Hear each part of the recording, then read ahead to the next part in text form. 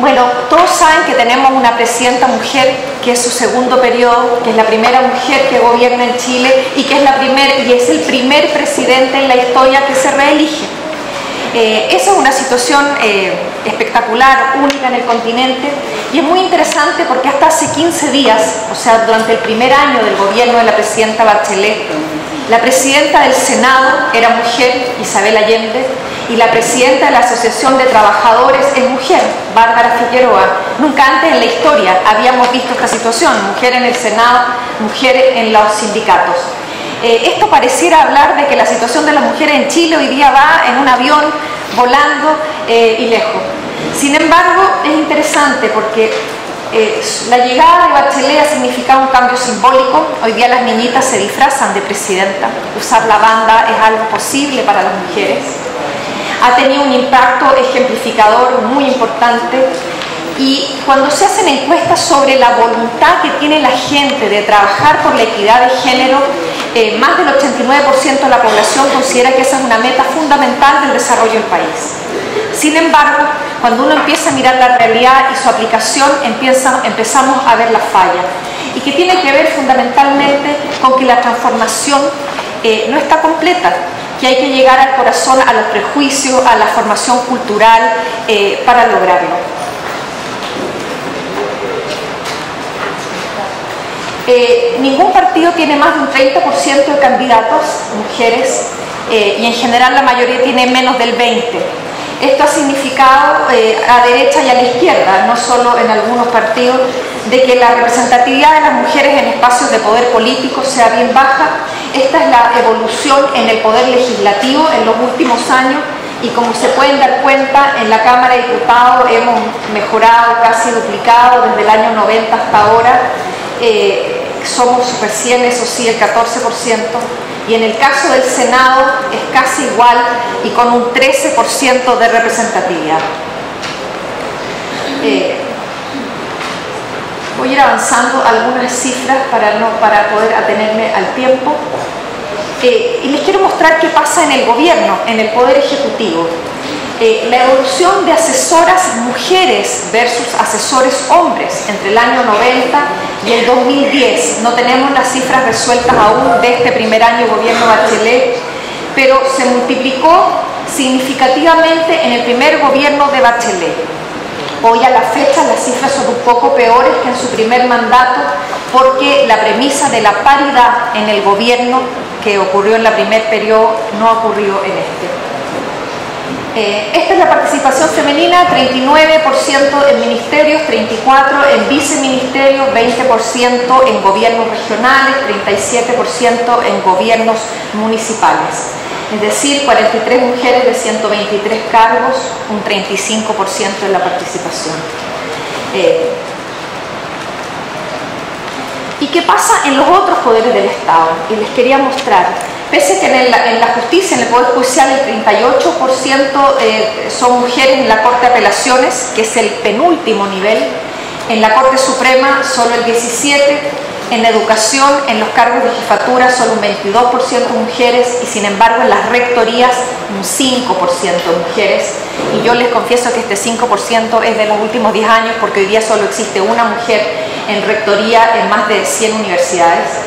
En salud, cero presencia de mujeres en directivas y va bajando la cifra. En el sistema financiero apenas un 3,7% de mujeres en cargos altos. Y en los medios de comunicación lo ponía ahí como una ironía, porque yo creo que ahí uno de los corazones del conflicto que vivimos nosotras las mujeres, es que a pesar de que la participación es muy alta de profesionales mujeres en los medios de comunicación, la representación de mujeres que hacen los medios sostiene los prejuicios, es sexista, es discriminador, eh, incluso en las maneras en cómo se refieren a autoridades mujeres o autoridades hombres hay una gran diferencia. A los hombres los tratan de usted y por el apellido y a las mujeres los tratan por su nombre de pila. Eh, se hacen comentarios sobre la vestimenta de mujeres y no se los hace en el caso de los hombres. Eh, esto significa que por más que luchemos, eh, hoy día el consumo de medios de comunicación es altísimo, al menos en Chile se consumen más de dos horas de televisión al día Eso significa que los estímulos que ven desde la publicidad, los programas eh, de entretenimiento e incluso las noticias construyen la opinión de la gente. Eso significa que cuando lo que más gana son programas de farándula y, chismes o reality donde las mujeres son todas guapas, eh, con talla 36D al menos, ¿no? y escotes pronunciados, lo que se está haciendo es hablar de las mujeres como objeto porque nunca los talentos están presentes. En general, incluso en los estudios que hemos hecho, las menciones de mujeres en medios de comunicación no, no se refieren a sus títulos profesionales, cuando en el caso de los hombres sí, abogado, ingeniero, arquitecto, y en el caso de las mujeres solo señora o señorita, distinción que no ocurre en el caso de los hombres. Eh, ¿Qué avances hemos tenido en, este último periodo? Yo diría que el más relevante es la ley de cuotas, que está en discusión en el Parlamento. Es una discusión bien compleja porque incluso eh, no hay acuerdo entre las mujeres parlamentarias y lo que se está poniendo es que los partidos propongan candidatos eh, que ningún partido supere el 60% de candidatos hombres en sus listas. Eh, y esto tiene sanciones e incentivos. El incentivo más importante es cómo acceder a financiamiento en las campañas políticas, tema relevante, eh, ustedes lo sabrán mejor que nadie lo que cuesta levantar fondos para hacer campaña y por lo tanto eso es una manera de premiar a los partidos. Vamos a ver qué pasa.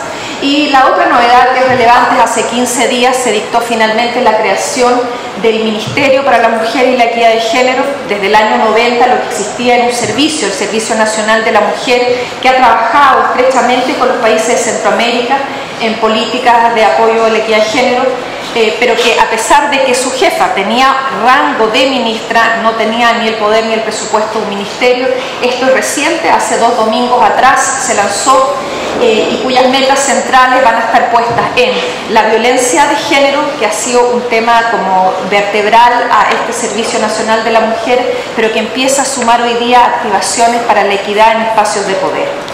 Y aquí yo quería compartirles un par de cosas que me parecen relevantes. Chile ha creado un estímulo muy importante en el sector público, eh, que es un aumento del sueldo de hasta un 10% a las instituciones que cumplan ciertas metas de participación de género. Eh, lo interesante, y lo conversamos ahora en la mañana, activaciones de género se hacen de cara a los clientes de la institución. O sea, si el, si el Ministerio del Trabajo atiende más mujeres, proyectos legales de mujeres, el equipo gana un aumento del sueldo. Sin embargo, no se ha incorporado el trabajo de equidad de género interno. O sea, no hay estudios de cuánto ganan los funcionarios de dicho ministerio por género, la cantidad de participación, y ahí lo que demuestra es cómo no, todavía tenemos una brecha de cómo incorporamos los temas. Eh, y quería hacer una pasada brevemente por la participación de mujeres en economía, porque yo estoy convencida que el tema de la equidad pasa por la, presencia de mujeres en espacios de poder, y estos son en la economía y en la política. Eh, si en el año 90 teníamos un 30% de la fuerza laboral, eh, en el año 2013 llegamos a un 48%. Las mujeres han ido progresivamente entrando en el mundo del trabajo, sin embargo los hombres no han aumentado su presencia en la vida doméstica. Esto es una barrera fundamental. Eh, escuchar al presidente del Parlamento, eh, el apoyo que dan, el asunto es que esto cómo se traduce en la vida cotidiana. Yo no sé si los hombres y las mujeres son capaces de repartirse el lavado de los platos, la traída y llevada de los niños, la administración del, del servicio, el pago de las cuentas, el supermercado y todo lo que significa llevar la responsabilidad a la vida familiar que la carrean las mujeres y no los hombres. Eh, y quería contarles algunas cosas que hemos estado haciendo eh, respecto a la incorporación de mujeres al mundo laboral. Ese es el mapa de mujeres. Chile tiene 9 millones totales de mujeres, en edad de trabajar 7 millones y activas solo 3 millones y medio.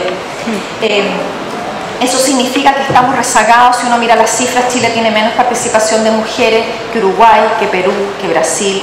Estamos en el lugar 11 de 12 países de América Latina medio.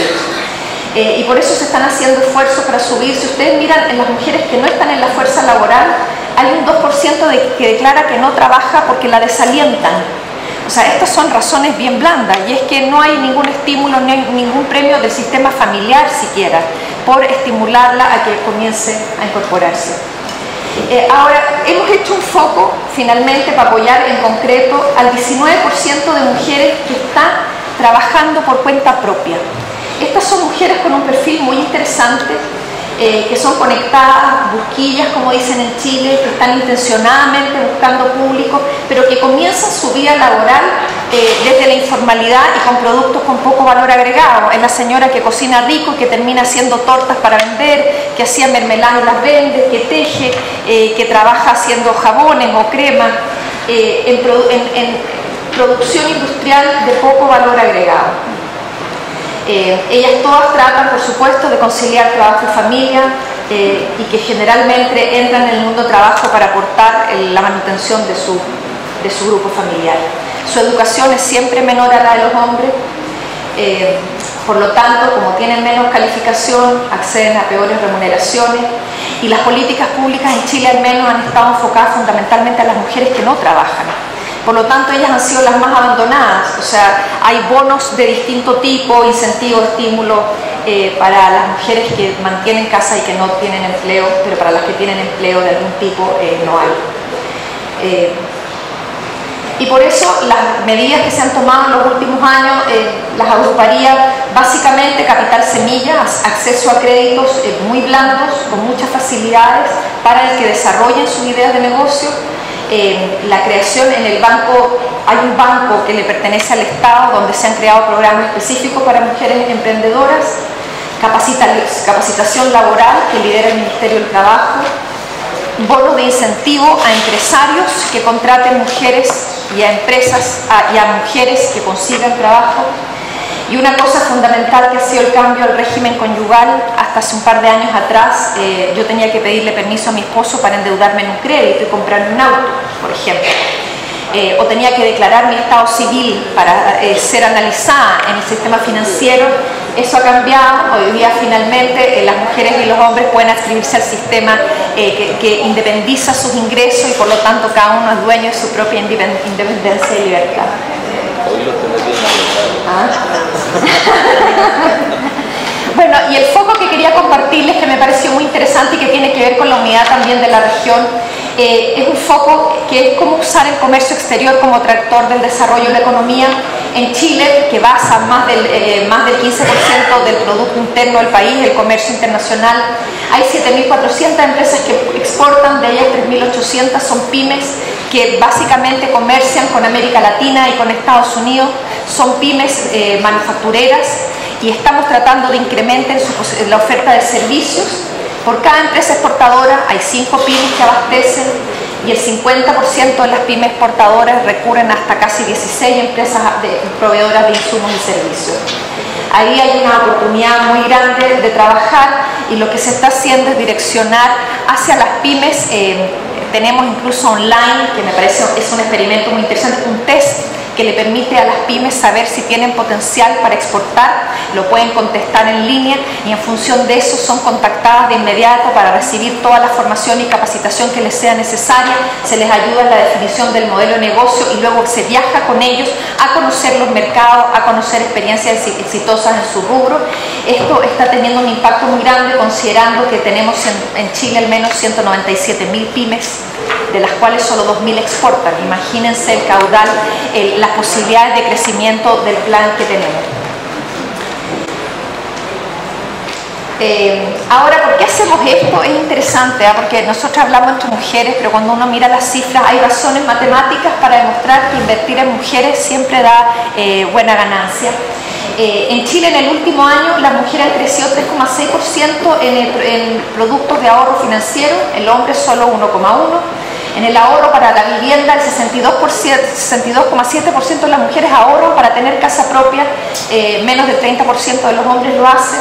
Y en términos de ahorro previsional, o sea, cuánto uno ahorra para su jubilación, el 68,3% de las mujeres lo hace y no así los hombres. O sea, pura ganancia para el país. Ahora, y para cerrar, lo que quiero comentarles, eh, yo estoy convencida que el principal problema eh, de las mujeres no son las cifras, ¿no? estas cifras que estamos mirando. Eh, yo creo que hay un problema de fondo que es cultural y es cómo elaboramos hombres y mujeres juntos esta transformación, cómo logramos tener una conversación obvia de cómo compartir las responsabilidades, de cómo distribuir las tareas, de que no sea evidente que la mujer tiene que ir a la reunión de apoderados del colegio y el hombre no que no sea la mujer la que obvio tiene que revisar las tareas. Y etcétera, una larga cantidad de situaciones de, prejuicios, porque al final, a pesar de esta conversación, las mujeres terminan estando en, los, en las áreas naturalmente de mujeres y los hombres continúan en las áreas tradicionalmente de hombres. Hay pocas mujeres en el mundo de la minería, de la ingeniería, de la electrónica, de la ciencia, etc. Eh, y por eso hay que cambiar, hay que eliminar los estereotipos y en el mundo de la política definitivamente cambiar la manera en que se hacen las cosas. Los partidos políticos tienen una vida eh, que no está hecha para las mujeres, no sé si les pasa a ustedes, pero en Chile al menos las reuniones son siempre después de las 9 de la noche, cuando uno muere por volver a la casa después del trabajo, por lo tanto no llega a las reuniones partidarias, eh, la, máquina opera distinto y, nunca favorece las condiciones de vida de las mujeres. Eh, y como creo que esto hay que cambiarlo de fondo, les quiero compartir una campaña que está ocurriendo en Chile, que es lo último que les muestro y que yo creo que apunta al corazón de las cosas y es cómo cambiar la mentalidad de las niñas y de los niños. Y esta campaña se llama Las niñas pueden.